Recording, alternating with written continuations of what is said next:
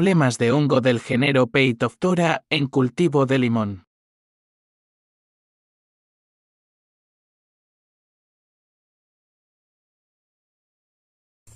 Cabriotim y Derocim fueron los fungicidas aplicados para controlarlo.